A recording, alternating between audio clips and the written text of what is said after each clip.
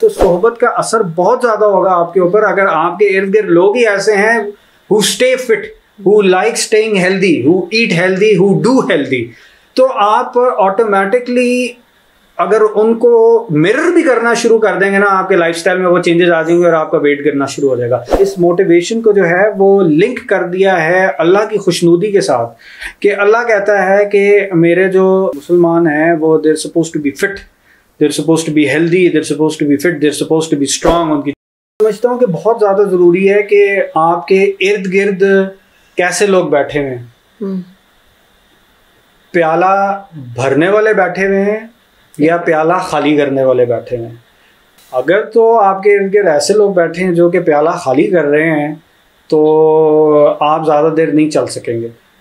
चलें, अब वो प्याले वाली एनालॉजी से अगर मैं निकल आऊँ तो हजूर वसल्लम को सोहबत का कहा गया था कि जी, आप ऐसे लोगों के अंदर ना बैठे, वरना आप इन जैसे ही हैं, इन जैसे ही हो जाएँगे। तो इनमें से उठ जाएँ। और इसी वजह से हमें भी हुक्म है कि जब भी हम ऐसी जगह पे अगर बैठे हों, खुदा ना खासा जहाँ पे अल्लाह की आयतों का मज़ाक उड़ाया जा रहा हो तो या तो आप हाथ से रोकें, या आप जबान से रोकें, या आप दिल में बुरा जाने और इसके बाद जो है, वो ईमान ही कोई नहीं है फिर आपके अंदर। लीस्ट दर्जा ईमान का यही है कि दिल में बुरा जाने, और दिल में बुरा जानने को दिखाने का तरीका यही है कि आप वहाँ से उठ जाए। जहाँ पे अल्लाह की आयतों का मज़ाक उड़ाया जा रहा है, वहाँ से उठ जाओ। उन लोगों में मत बैठो। तो ये चीज़ बहुत मैटर करती है कि आपके इर्द गिर्द टॉक्सिक लोग अगर हैं, या आपके इर्द गिर्द ऐसे लोग हैं जो कि आपको मोटा कर रहे हैं, चूँकि अभी अब मोटापे के बारे में बात हो रही है तो सोहबत का असर बहुत ज़्यादा होगा आपके ऊपर। अगर आपके इर्द गिर्द लोग ही ऐसे हैं who stay fit who like staying healthy who eat healthy who do healthy तो आप ऑटोमेटिकली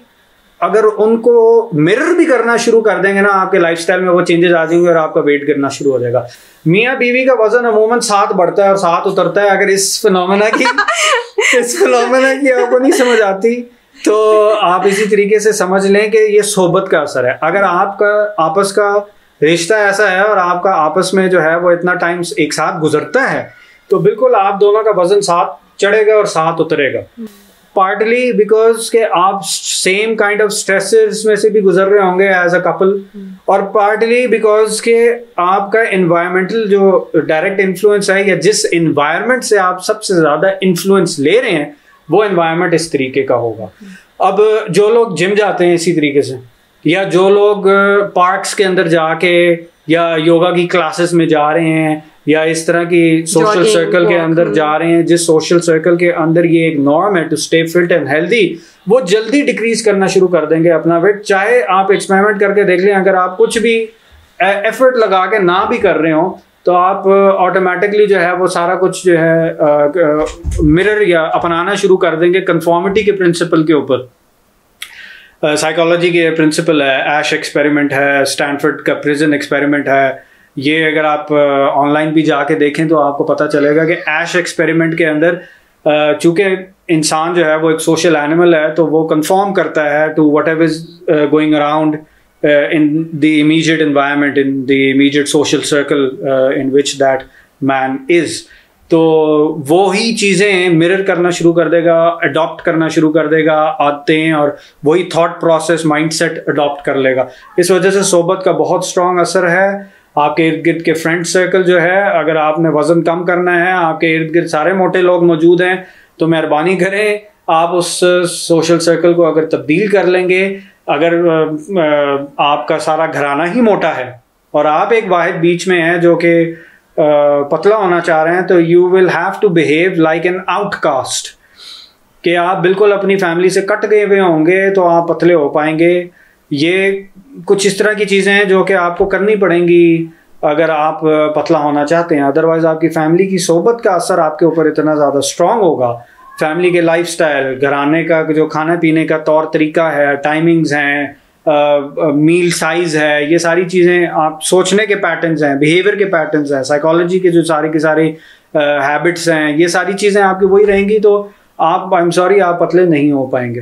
तो I hope this helps a lot of people and I hope this reaches those people और डायर नीड ऑफ़ इट तो इन चीज़ों के ऊपर जो है वो बहुत ज़्यादा हमें uh, तवज्जो देनी चाहिए। ये वो चीज़ें जो कि हमने बैकग्राउंड में या बैक ऑफ़ द हेड फेंकी भी होती हैं। इनको हम कोई इतनी ज़्यादा जो है वो वक़्त नहीं दे रहे होते वेटेज नहीं दे रहे होते। तो इन चीज़ों को जो है वो वेटेज ज़्यादा देनी चाहिए मेरे हिसाब से। और इन्हीं को जब वेटेज देना शुरू करते हैं, चाहे आप अनजान में देते हैं या वाकई में देते हैं, शौरी तौर पे या लाशौरी तौर पे देते हैं तो they start showing their effect in ताला। और लास्टली जो इन सारी चीज़ों के अंदर सबसे ज़्यादा इम्पोर्टेंट जो चीज़ मैं समझता हूँ वो ये है कि आपने ये वेट लॉस की जर्नी अपनाई क्यों?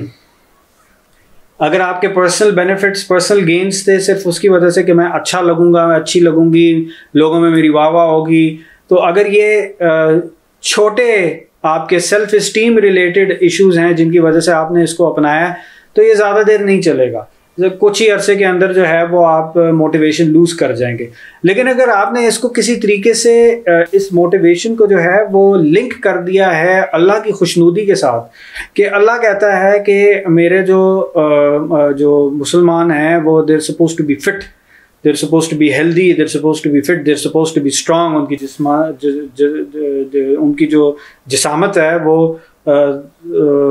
ताकतवर होनी चाहिए। तो वो ये चीज़ें अगर आपके जहन में है और कल को मर्दों के जहन में ये है कि जी, कल को अगर हमें जहाद करनी पड़ जाती है, लड़ाई करनी पड़ जाती है, जहाद बिल यद करनी पड़ती है, अगर हाथ से जहाद करनी पड़ती है। जहाद का सबसे पहला तो फॉर्म यही है कि बिन नफ्स करें, आप अपने नफ्स से जहाद करें, उसके बाद बाकी जो है देखी जाएगी कि हमने क्या करना है। लेकिन सबसे मुश्किल जहाद भी वही है कि जो आप अपने नफ्स के साथ करते हैं। तो वहाँ से आगे बढ़ के अगर आपको जो है वो हाथ से रोकने की ज़रूरत पड़ती है और उसमें फिर लड़ाई झगड़े की भी बात आ जाती है जंगों की भी बात आती है तो at least you physically fit to go and fight in the name of Allah और उस चीज़ को भी जेन में रखते हुए अगर आप इसको उस तरीके से एसोसिएट uh, कर दें फ़िज़िकल स्ट्रेंथ के हवाले से या आप इसको इस तरीके से एसोसिएट कर दें कि if I feel better by exercising and my better mood is going to help me do something for the sake of Allah, for the sake of uh, uh, for Allah's sake कोई ना कोई काम है बेहतर कर सकूँगा तो उस तरीके से भी अगर आप इस चीज़ को एसोसिएट कर दें तो this will take you a long long way because this is one motivation which will never die क्योंकि आपकी जब तक आखिरी सांस नहीं निकल जाती उस वक़्त तक जो है अल्लाह आपके साथ है बल्कि इसके बाद भी अल्लाह आपके साथ है। लेकिन ये जिसम जो है ये जब तक आपका इस जिसम का साथ है आपके साथ, उस वक्त तक अल्लाह के साथ आपने इसको किसी न किसी तरीके से जोड़ दिया हुआ है कि जी मैंने इस जिसम, चूँकि ये अमानत है, अल्लाह की तरफ़ से इसका मुझे ख्याल रखना है तो शायद जिम जाना एक सवाब का अमल भी बन जाए आपके लिए। उस जिम जाके अपने आप को या जनरली एक्सरसाइज करके अपने आप को फिट करके अच्छा खा के आप उस जिसम की तोानाई का, उसको हेल्दी रखने का हक अदा कर रहे होंगे, जो कि अल्लाह सुबहाना ताला ने हमारे ऊपर एक फ़र्ज़ डाला हुआ था। तो इसको इस नज़रिए से, इस लेंस से, इस पर्सपेक्टिव से भी अगर हम देखें तो अल्लाह करेगा कि ये काम फ़ी सबील्ला भी हो जाएगा, सवाब भी मिल जाएगा, और आप जो अचीव करना चाह रहे थे फ़िज़िकल हेल्थ के हवाले से, वो भी आप इन ताला कर सकेंगे। थैंक यू जजाकल्ला खैर. अलैक्म.